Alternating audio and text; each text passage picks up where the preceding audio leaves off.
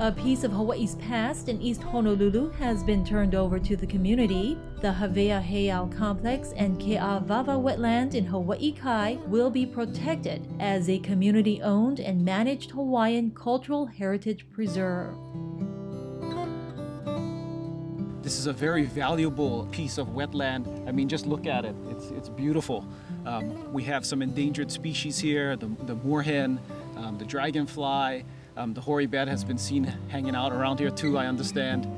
Um, cultural sites, uh, the, the heiau, um, the Niu Grove behind me, which is one of the oldest um, in the area.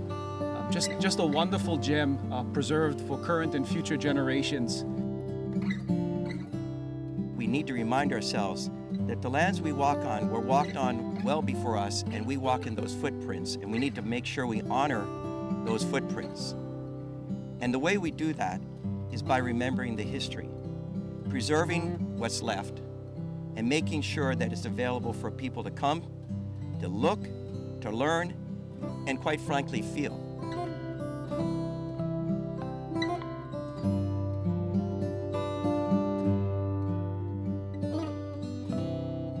Caldwell says Councilmember Stanley Chang led the city's efforts to protect the land. It has been a rocky road for this project over a period of many years. But it shows that when the community gets together with the private sector and the landowner, with uh, state and local government officials, we can move mountains and we can do what's right and we can preserve a unique piece of our Hawaii ecology, habitat for our endangered alae ula um, birds, and um, the site of some very important cultural and historical features. In 2009, Livable Hawaii Kai Hui was introduced to this land through the eyes, hearts, and minds of a handful of community members. Kupuna from Niu Valley spoke about this area once being the largest fish pond in all of Polynesia. 523 acres, famous for its abundance of fish, particularly the mullet.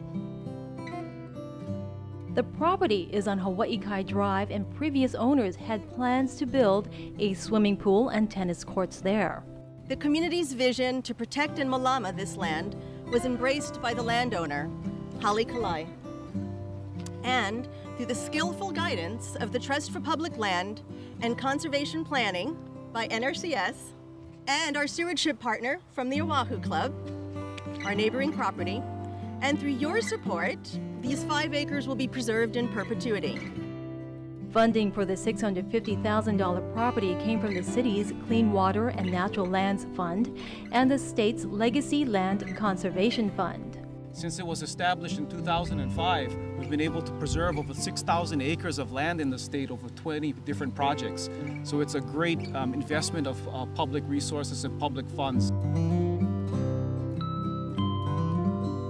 The property was purchased below the appraised value from developer Hale Kalai.